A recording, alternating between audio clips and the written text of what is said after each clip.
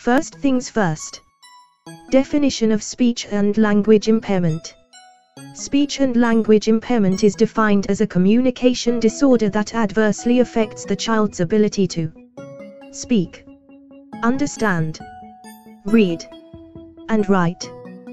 This disability category is divided into two groups speech impairment and language impairment. Prevalence Speech and language impairment has high incidence disability. Approximately 20% of youngsters receiving education services for speech and language disorders. Characteristics Speech impairments.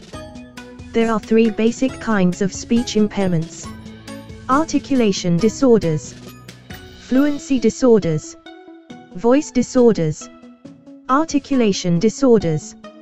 Articulation disorders are errors within the production of speech sounds that will be associated with anatomical or physiological limitations within the skeletal, muscular, or neuromuscular support for speaking. These disorders include omissions, substitutions, distortions, fluency disorders. Fluency disorders are difficulties with the rhythm and timing of speech, characterized by hesitations, repetitions, or prolongation of sounds, syllables, words, or phrases. Common fluency disorders include stuttering and cluttering, voice disorders.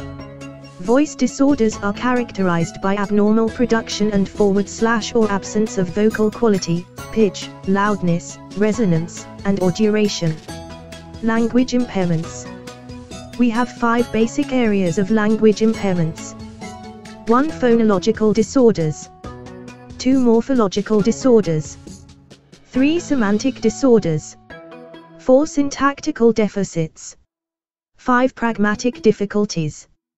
Phonological disorders are defined because the abnormal organization of the language system, or a big vocalization or perception. Morphological disorders are defined as difficulties with morphological inflections, on nouns, verbs, and adjectives that signal different forms of meaning.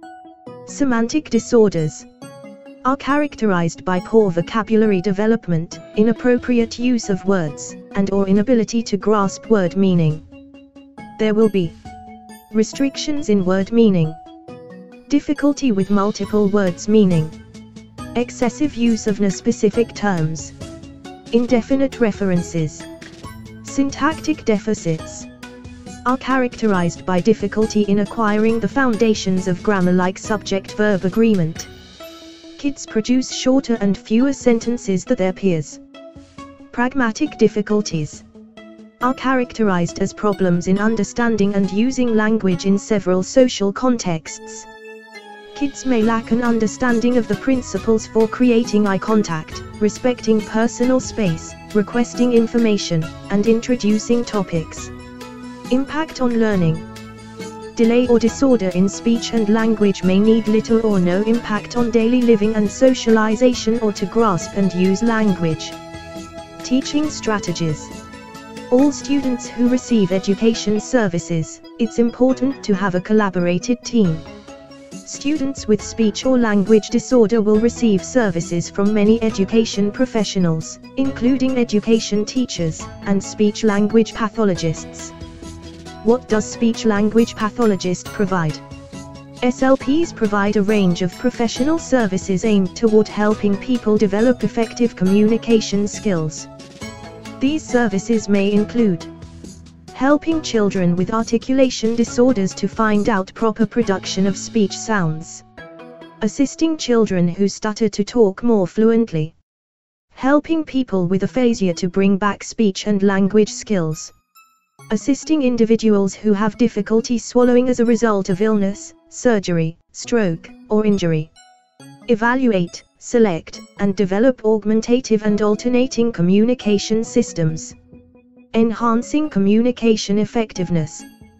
The education teacher should work with the speech-language pathologist, SLP, to include strategies to assist the generalized strategies mastered in therapy. The overall education and education teacher should both collaborate with the SLP for interventions and teaching strategies.